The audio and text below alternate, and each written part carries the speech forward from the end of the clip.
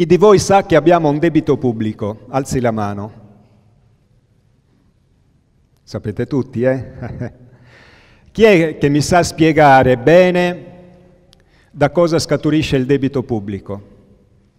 Me lo deve saper spiegare bene. Alzi la mano. Allora, cari amici, abbiamo un debito pubblico e lo sappiamo tutti, ma non sappiamo perché ce lo abbiamo. Sta cosa è un po' rischiosa, perché una persona, un essere umano che ha un debito importante e non sa da dove viene e quindi è fuori controllo, è fallito, è solo questione di tempo. Infatti, cari amici italiani,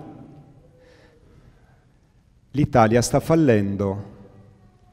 Gli imprenditori si suicidano, gli operai vengono licenziati, si suicidano, i numeri non li danno più. Il 50% del tessuto della media piccola impresa è andato in malora. Siamo vessati da istituzioni come Equitalia, adesso gli hanno cambiato nome, che era iscritta nel Delaware, paradiso fiscale per eccellenza, tassazione allo 0%, iscritta come società religiosa e no profit, l'Equitalia, nel Delaware. Quindi noi abbiamo un debito pubblico e non sappiamo perché. Siamo falliti. Perché va pagato, ce lo tolgono dalle tasche, questi soldi vanno via, tanti, miliardi ogni anno vanno via. Non li pagano i politici, li paghiamo noi col sudore della nostra fronte, togliendoci un tozzo di pane, un libro al bambino per la scuola, un giocattolo. E com'è possibile che noi sappiamo di avere un debito e non facciamo nulla per sapere chi l'ha fatto questo debito, perché io non mi sono indebitato con nessuno. Quindi se qualcuno ha fatto un debito, che se lo pagasse lui, ce l'ha lo Stato, ma io il signor Stato non l'ho mai conosciuto, non esiste. Non esiste la signora Equitalia, esistono esseri umani dentro le istituzioni. Quindi noi popolo siamo vessati da esseri umani altri che si arrogano il diritto, grazie alla nostra ignavia e ignoranza, di vessarci. Pressione fiscale quasi al 70%. Il signor Stato è un dittatore, poi vado a leggere l'articolo 3 della Costituzione, la Repubblica ha l'obbligo di rimuovere gli ostacoli alla piena realizzazione del cittadino, rimuovere gli ostacoli. Ma io vedo che la Repubblica me ne mette di continuo, è una nemica, bisogna disconoscerle alla signora Repubblica, buttarla fuori di casa perché siamo noi il popolo sovrano, articolo 1 della Costituzione. Siamo sovrani del debito, ma non del credito. Cioè ci hanno reso sovrani del debito, ma non del credito. Quando l'Italia ha incassato, nessuno ci ha chiamato a riscuotere, ci chiamano solo a pagare. E da cosa viene questo strano modo nostro di rapportarci al signor Stato? Dalla mancanza di informazione. Quindi, al di là del discorso degli UFO, che uno può crederci o meno, pur se io abbia detto che detesto il termine credo perché è stupido, essendo il fenomeno oggettivo si fa ricerca, cioè scienza. Ma se non sappiamo nemmeno niente sui nostri soldi e sul nostro debito, beh, potrebbe anche essere che anche sugli UFO non sappiamo bene come stanno le cose. Andiamo a vedere i soldi. E cito un personaggio famoso, che è il signor Henry Ford, imprenditore, quello che ha fondato la, causa, la casa automobilistica che porta il suo nome, che un bel giorno dice questa frase strana. È un bene che il popolo non comprenda il funzionamento del nostro sistema bancario e monetario perché se accadesse credo che scoppierebbe una rivoluzione prima di domani mattina. Che ci sta dicendo il signor Ford? Questi soldi sono una ricchezza o sono una schiavitù? Questo è il grafico dell'andamento del debito pubblico italiano fino al 2017. Nel, tra il 50 e il 69 il debito pubblico era il 30% del PIL, ci rimaneva in tasca il 70%. L'anno scorso abbiamo raggiunto il 133%, andiamo del 33% sotto zero, cioè si mangia tutto il PIL. Ma qui c'è stato Monti, è cresciuto, non è diminuito. Quindi questa informazione è importante. E guardiamo i soldi. Questo ente a cui pensiamo tutti i santi giorni, volenti o nolenti, a volte lo pensiamo con amore, a volte lo pensiamo con odio, ma tutti i giorni pensiamo ai soldi. Guardate un po'. Molti di voi sicuramente hanno avuto in mano queste tre cartamonete, le 500 lire col mercurialato, le 100.000 lire col, car- col Caravaggio e i 10 euro. Analizziamoli uno per uno.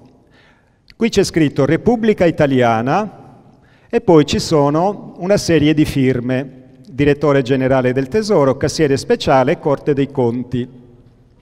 Poi c'è scritto biglietto di Stato a corso legale. Non c'è scritto la legge punisce gli stampatori e gli spacciatori di biglietti falsi. Non c'è scritto pagabili a vista al portatore.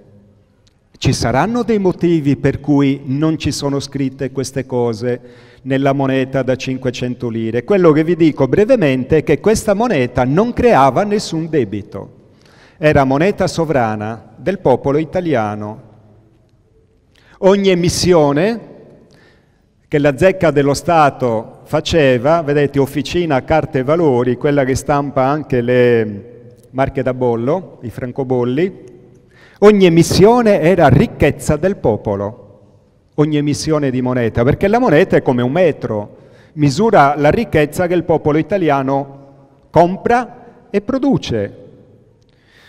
Poi andiamo alle 100.000 lire e già qui le differenze sono sostanziali. Sparisce Repubblica Italiana, compare Banca d'Italia. A firmare sono diversi personaggi, il governatore e il cassiere, e c'è scritto pagabili a vista al portatore. Poi c'è scritto la legge punisce i fabbricatori e gli spacciatori di biglietti falsi. Pagabili a vista al portatore significa che tu potevi andare alla Banca d'Italia e chiedere il corrispettivo in oro di 100.000 lire. Andiamo a vedere gli euro.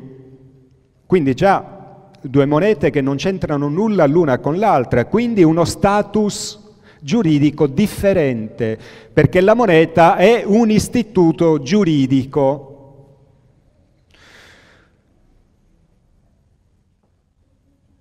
È sparito tutto, c'è più nulla.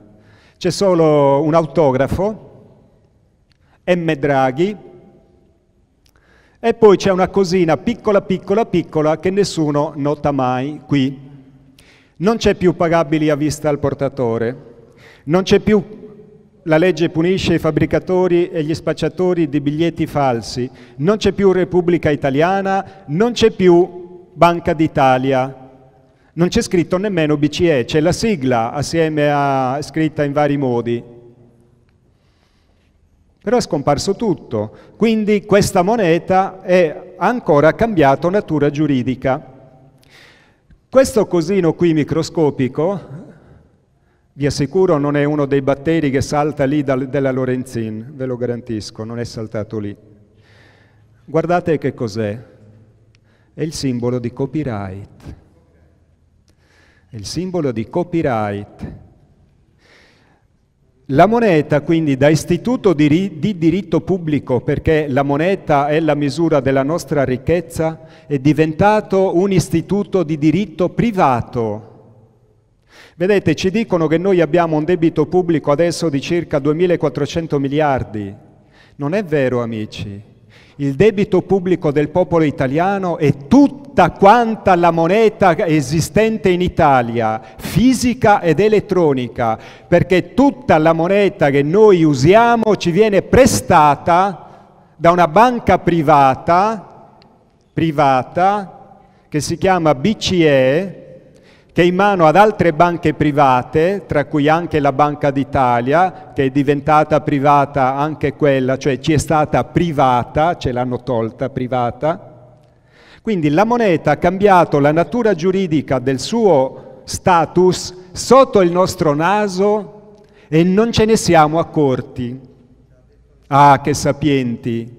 E magari poi arriva il cugino, l'amico, la moglie, il marito, ci dice, sai, ho visto un UFO. che ridi? Eh, ma tutti lo sanno che gli UFO non esistono. Tutti chi sono? Perché tutti è sbagliato, perché c'è qualcuno che crede e qualcuno che non crede, c'è qualcuno che sa, c'è qualcuno che non sa, quindi tutti non significa nulla. Quindi Spesso, soprattutto le persone che hanno un alto livello di formazione scolastica, si sentono autorizzate senza avere nessuna competenza, senza avere mai studiato l'ufologia, si sentono in diritto di aggredire un loro simile perché tutti sanno che gli UFO sono una sciocchezza. Tutti chi? Nomi e cognomi. Ad esempio Caria non fa parte dei tutti e quindi se Caria non fa parte dei tutti già non è tutti, è qualcuno. Qualcuno tranne Caria, e magari tranne qualcuno di voi. Quindi vedete quanto siamo sciocchi amici e non siamo sciocchi sugli UFO che uno potrebbe pensare alla fine che me ne frega, siamo incompetenti in maniera spaventosa sulle basi stesse della sopravvivenza della nostra vita e della nostra famiglia. Senza soldi si muore, lo sappiamo tutti, non ci si cura, non si mangia, non ci si lava, non si paga l'affitto o il mutuo della casa, non si va a scuola, non si va da nessuna parte senza soldi. E non li conosciamo. Ma ci pensate che condizione di grave e spaventosa debolezza che abbiamo noi, popolo italiano ex sovrano, se mai lo siamo stati? Ora, il problema grosso, amici, poi è un altro, che noi con i soldi ci finanziamo la vita fisica, ma poi moriamo. C'è una grande sconosciuta che abbiamo tenuto fuori da casa nostra, si chiama Signora Morte. Signora Morte non ha paura delle porte chiuse, entra dal tetto, dal camino, attraversa i muri e ci viene un giorno ci viene a chiamare. Quello che accade quando la signora morte ci chiama non può essere dopo gestito con i soldi. C'è stato un capomafia che si è fatto seppellire con la bara piena di soldi, ma non se li è portati via. Quando noi andiamo via da questo mondo, non ci portiamo via manco gli spilli che tengono i colletti delle camicie nuove. Eppure nessuno di noi ha un progetto reale, concreto e scientifico sulla propria morte. Post mortem intendo. Qualcuno dirà, ah, ma tanto non c'è nulla, dammi le prove. Dov'è la prova? Eh, ma poi c'è Gesù, dammi la prova. Perché se c'è un islamico dice, eh, io so meglio di voi, a te ti aspetta Gesù, a me dieci vergini. Ma è vero? La domanda è, ma è vero? È vero? Eppure, così come i soldi riguardano tutti e non ne sappiamo nulla, anche la morte riguarda tutti noi esseri umani e non ne sappiamo nulla. Abbiamo delle credenze, delle ipotesi, delle opinioni, ma le certezze scientifiche siamo al vuoto pneumatico, lo zero assoluto. E invece la morte è un fatto scientifico, amici, non è un fatto religioso. Perché se è scientifico il mio ingresso in vita in un corpo, è ovvio che è scientifico anche la mia uscita dal corpo e tutto quello che accade dopo, ma è una scienza che a noi popolo è stata sottratta per dominarci attraverso la paura e l'ignoranza.